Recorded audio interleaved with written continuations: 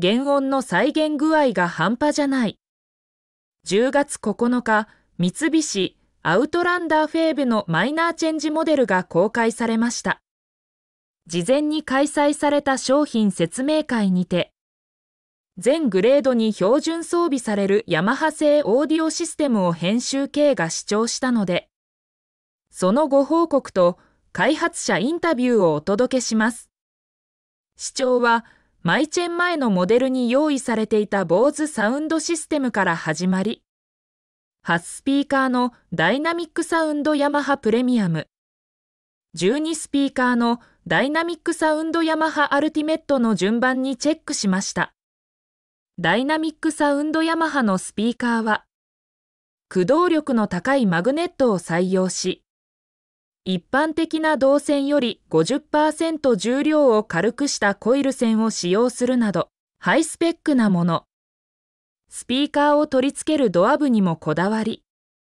徹底したデッドニングと静音材や補強材の貼り付け、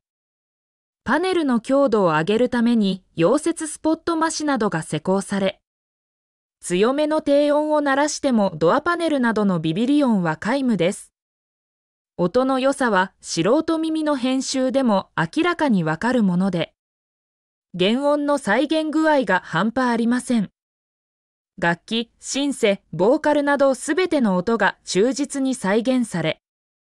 脳の奥まで聞こえてくる感覚が味わえます。当然、12スピーカーの方が音量や音の幅は広いですが、8スピーカーでも低音から高音まで十分に高音質でした。ということで、ヤマハの開発者にいろいろと聞いてみました。ヤマハブランドのスタートは中国から。ヤマハのカーオーディオはいつ頃から始まったのでしょうか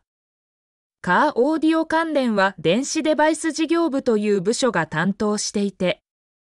カーオーディオに使われる DSP デジタル信号処理装置の半導体を売っている B2B 企業向けの事業部なんです。いわばほくろ的なところでしょうか。と教えてくれたのはヤマハの電子デバイス事業部主事で、サウンドマイスターの称号も持つ引田さん。ヤマハブランドとして出していこうとスタートしたのが2018年で、実際に採用されたのが2020年頃なのだそう。最初は中国の G カーや後期のモデルに採用され、その後三菱のアジア向けモデル X フォースにも採用。そして国内でヤマハブランドを出したのはアウトランダーが初となります。中国メーカーからスタートしたのは、彼らは開発サイクルが早いので、モデル、車両の開発がスタートするタイミングでオーディオも同時に、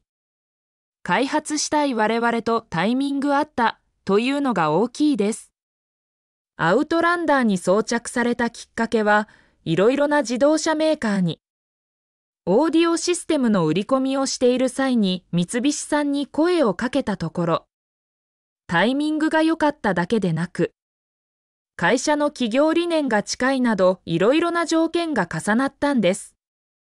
開発者は全員楽器演奏者スゴ。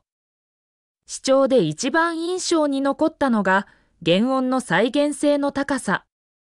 特にピアノやドラムなどの楽器の音は生音を聞いているかのように聞こえました。電子デバイス事業部という音とはあまり縁のなさそうな肩書きの人たちが、一体どうやって原音を再現しているのでしょうか？肩書きにあるサウンドマイスターは DSP についての知識があって、その信号処理について詳しく、市販のオーディオや携帯の音作りの経験があり、楽器の経験が豊富でかつ無類の音楽好きという。いろいろな条件を兼ね備えていないとなれないんです。メンバーがいろいろな楽器の知識を持っているので、生音がどういう音なのか、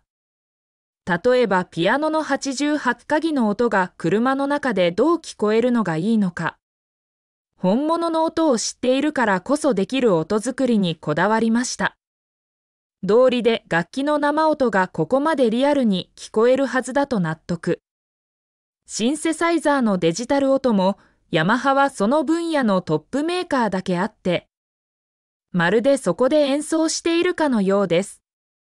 ちなみに引田さんはドラムとベース奏者で、同席していた営業部の本陣さんもピアノ奏者とのこと。ヤマハコワるべし、楽器、シンセサイザー、ホームオーディオなどを開発、製造し、最近では音声合成技術、ボーカロイドを生み出すなど、言うなれば音の何でもやのヤマハと、三菱が共同開発したこだわりのカーオーディオシステム。音楽好きの人は視聴してみてはいかがでしょうか？